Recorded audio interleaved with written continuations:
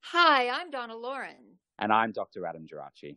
and you are listening to Love's a Secret Weapon podcast. Hi, and welcome back to our podcast and part four of chapter seven Wishin' and Hopin'. In this reading, Donna takes on a Johnny Kidd classic. And who wants to wish her a happy 18th birthday? I'll give you a clue. He got her all shook up. Plus, stick around for Donna's catch up with a Shindig colleague, the legendary music video and concert director David Mallet. You've seen his work in short and long form in the videos of Queen, David Bowie, the Rolling Stones, Tina Turner, Joan Jett, ACDC, and the list goes on and on. Go, Donna. It got a little touchy when those sexual feelings from Marvin Gaye's songs attracted a racially mixed crowd to want to get down with the music and forget about where they came from. There was a revolution in the air. More freedom rang in the air with lyrics from Bob Dylan's Blowin' in the Wind. Sexual freedom, women burning their bras, racial freedom, R&B music from Detroit and Atlanta crossed over the color lines. From Berry Gordy to Jerry Wexler, Motown music was generating a harmony for whites and blacks to find more common ground. Shindig provided a venue that paralleled political issues of the day. I personally experienced some very intense racial issues that impacted my life. Before even the airing of the show, Jack Good had to deal with the political issue. The network came down on him for having a mixed race program and insisted that he eliminate the Blossoms from the cast. He said he would, as long as the network would put it in writing. Jack told them that he would then send the letter to his friend, the Attorney General, Robert Kennedy. Jack Good knew that Robert Kennedy had made a commitment to his friend Martin Luther King Jr. that originated in the early part of his brother's first year in office. There was an issue called the Freedom Riders, which gained nationwide attention and brought Martin Luther King Jr. to the forefront of the civil rights movement. They never sent a letter. Therefore, the first show was scheduled to air with the Blossoms. It was devastating for me to learn that when Diana Ross and the Supremes were booked, they had to stand on pedestals to create a barrier between them and all the white dancers. The great Jackie Wilson was isolated in a spotlight away from the dancers that remained restricted on the risers. When I sang Shakin' All Over, a song by Johnny Kidd and a hit by the Guess Who, I wore a black bodysuit and I too was put up on a riser, isolated from the dancers, not because I was white, but because of the sexuality of the song.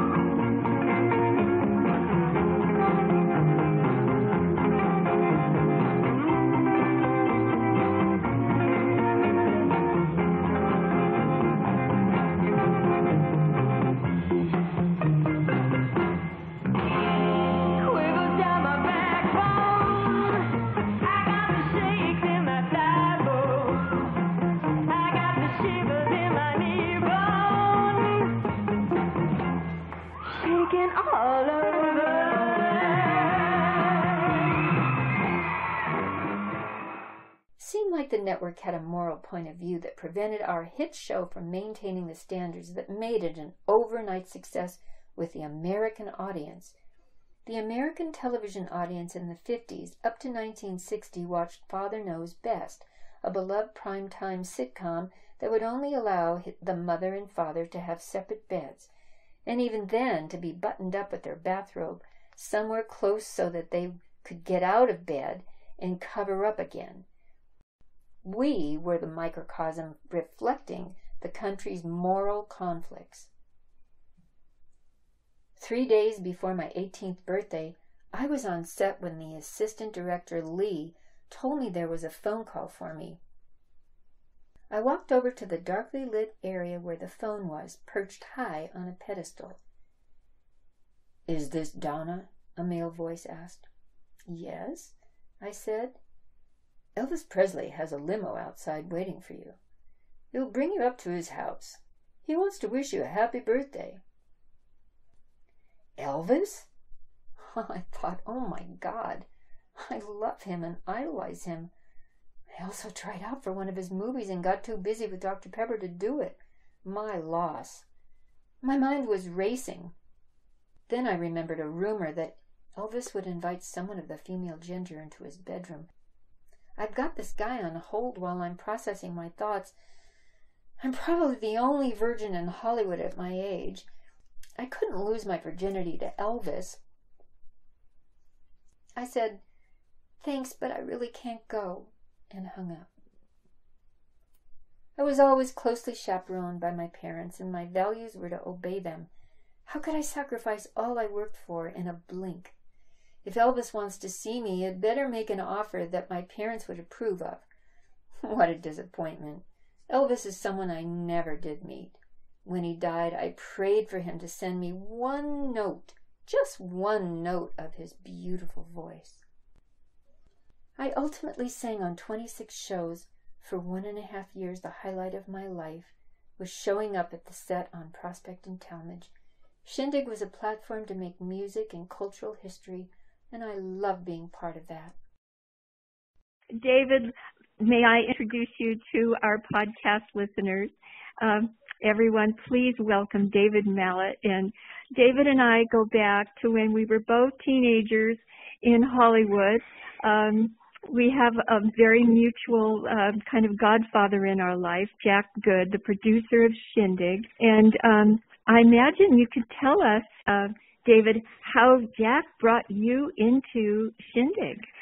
Well, I was at school and I met Jack once um, uh, at, uh, oddly enough, at a museum. Um, my brother knew Jack Good vaguely because my brother's much older than me and had been to university with Jack. And he introduced me to Jack when I was about 14, 15. And um, immediately Jack and I got on because Jack found that I knew as much about rock and roll, I mean real rock and roll, as he did. and I, I was kind of loving all the music that was actually too old for me. I was I was loving the music that was really well Jerry and Elvin everybody and everybody were really big when I was like 12 or 10 even 10.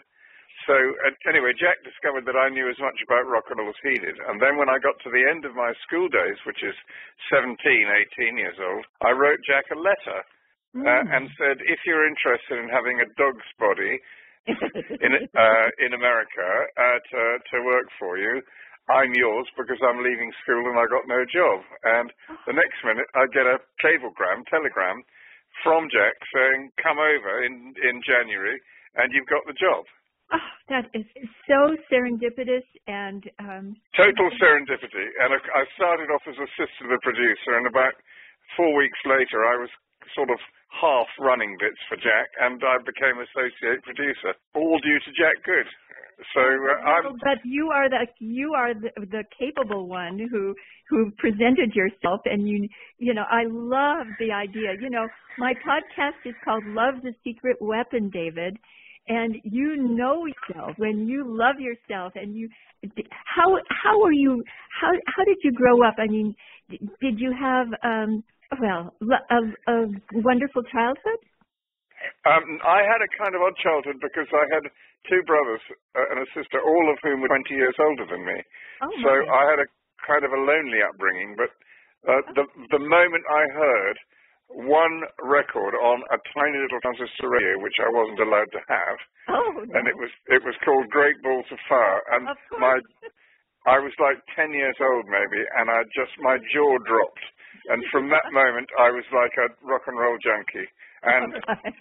oddly enough, I still am a rock and roll junkie to this So day. you just came in fully equipped. Well, uh, Jack, Jack Jack had never met anybody that knew as much about rock and roll as he did. Uh, actually, I didn't know as much as him, but I knew enough. Of, I knew nearly as much as him. Um, and uh, oddly enough, the, both Jack and I really love people that maybe a lot of other people didn't love that. Like Little Richard in England was not yes. as big as he was uh, anywhere else. I don't think. hmm And, and then we had a star called Jet Harris in England, who was one of the Shadows, who was never even a success. But Jack and I both thought that he was like the ultimate rocker. Oh, yeah. Yeah, it's that gut feeling you have inside. Uh, I know I had a little transistor radio too that I would put under my pillow when I was probably maybe a tiny bit older than you, maybe 11 or 12, and I would listen to it all night. I would just have, You see, we had no radio stations in England. We had one illegal, well, semi-legal station called Radio Luxembourg, which only went on the air at 7 o'clock at night. mm, I think it ran 7 till o'clock till midnight. And it was it was broadcast from the state of Luxembourg.